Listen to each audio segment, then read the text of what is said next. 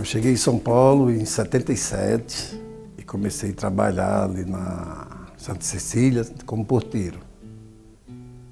Fiquei lá quatro anos e três meses. Depois saí de lá e fui para um prédio ali na Alameda Tietê. Lá eu fiquei mais nove meses. Saí, fui trabalhar com um colega meu. Nesse eu fiquei só um mês. Aí comecei a trabalhar de zelador. E antes era um sufoco convivência. Para passar com o salário, mesmo trabalhando zelador, era meio difícil.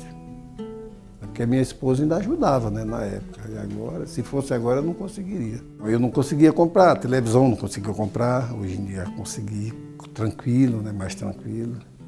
As coisas que eu não conseguia comprar antes, hoje em dia já consigo. Até carro eu consegui comprar, né?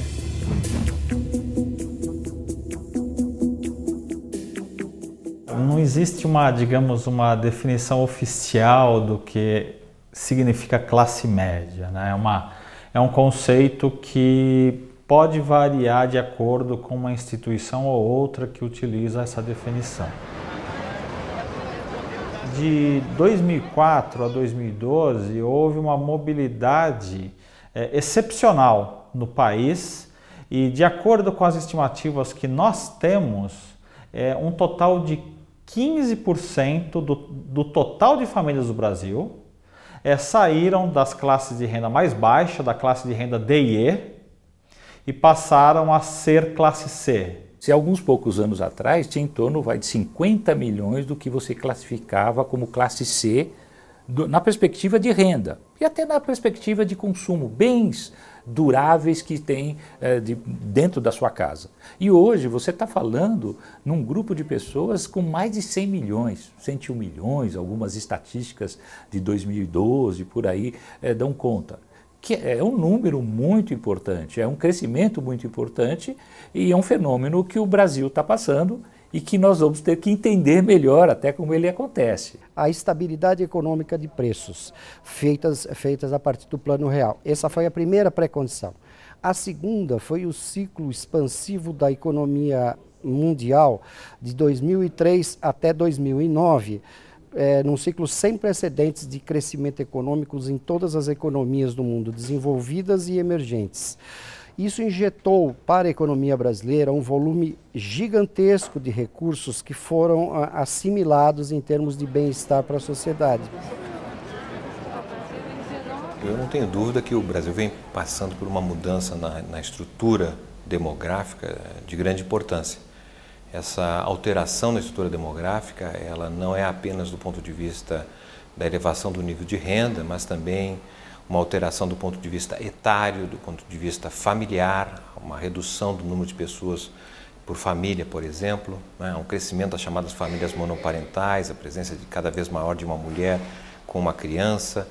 É, enfim, estamos diante de mudanças muito significativas na estrutura da sociedade brasileira. As pessoas passaram a ter maior renda, mais emprego, isso fez com que realmente a gente tivesse um volume de pessoas que a gente chama na classe C muito acentuado.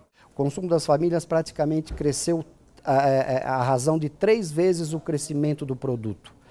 Então, todo, todo, toda essa renda injetada ao longo desse período tiveram um impacto muito forte sobre o, o, o, o consumo e sobre o varejo por consequência. E quando a gente analisa pelo, pelo, pelo que a literatura nos oferece em relação à interpretação se há ou não uma nova classe social, eu diria que nós não temos uma nova classe social, o que não significa dizer que não houve uma mobilidade social. Gente que era muito pobre, que vivia no subemprego ou mesmo desemprego, passou a ter um emprego, um emprego formal, com carteira assinada.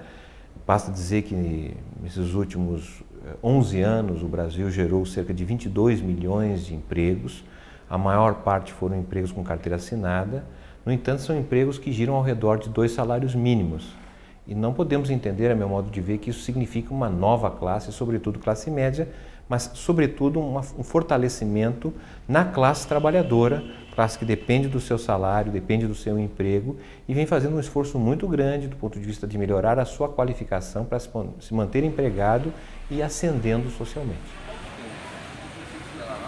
É difícil dizer que estamos agora olhando para uma classe média. É uma classe trabalhadora que deixou de ser pobre devido a uma política de aumento do salário, dos salários reais, principalmente do salário mínimo, mas ela carece de muitos quesitos que normalmente se entende que por caracterizarem uma classe média. É, de maneira geral, a classe média no Brasil poupa e pode, por exemplo, viajar no final do ano, comprar um carro, ampliar a casa, comprar uma casa. A classe trabalhadora, de maneira geral, ela não tem condições de poupar. Né? Então, ela, é, os, os, seus gastos são mais limitados.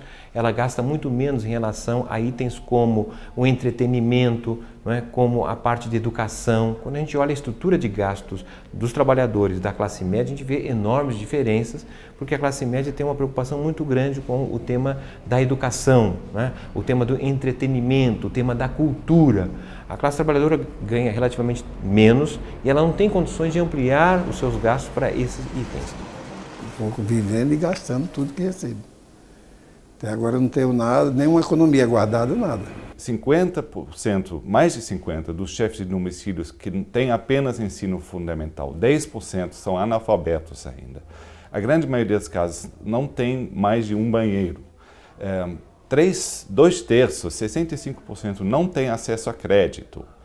70% não tem plano de saúde. O que, que o governo, governo fala? O governo diz que vocês são classe média, portanto, vocês têm possibilidade de ter um consumo típico da classe média, eletrodomésticos, um pequeno carro, casa própria, e que vocês têm a possibilidade de comprar educação e saúde adequada no mercado, ou seja, colocar as crianças na escola particular e adquirir, adquirir um plano de saúde.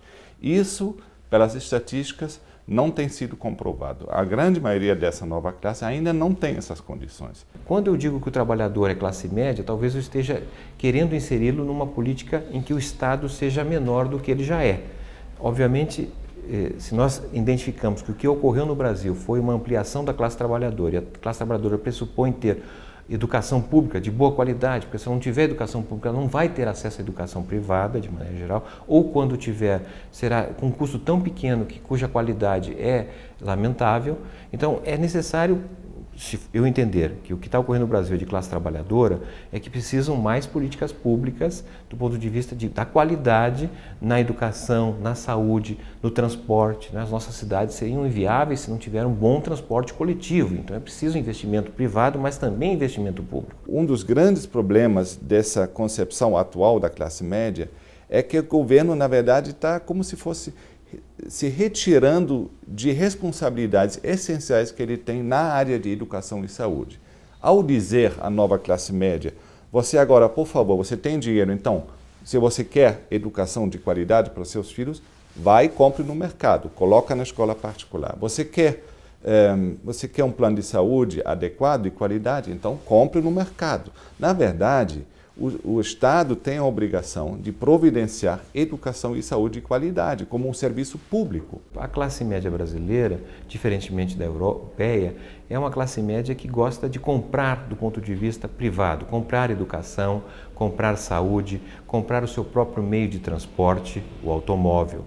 A classe trabalhadora ganha tão pouco que ela não tem condições de fazer esse tipo de compra. O governo fala: nós somos agora o Brasil, uma sociedade majoritariamente de classe média, e as pessoas olham para o seu cotidiano, olham para o, o, o tempo que levam para chegar no trabalho e de volta em casa, olham é, a, a, sua situação da educação dos seus filhos, né? É, o que acontece quando ficam doentes, e aí dizem: bom, é isso aí, Aí realmente somos classe média? Acho que não. O que nós vemos, até pelas últimas manifestações sociais, a partir de junho, né, nós temos a marca junho de 2013 fortemente, que as pessoas estão se questionando. Estão vindo com uma característica de perguntar que país é esse, efetivamente. Né? O, que, que eles estão vivendo? Estão tendo acesso a emprego, estão tendo mais renda, estão conseguindo fazer faculdade, mas o que, que isso traz de transformação efetiva para a sua vida. Então, esse é um momento que, de transformação também, justamente desse, da ideologia que essas, essas pessoas têm e carregam.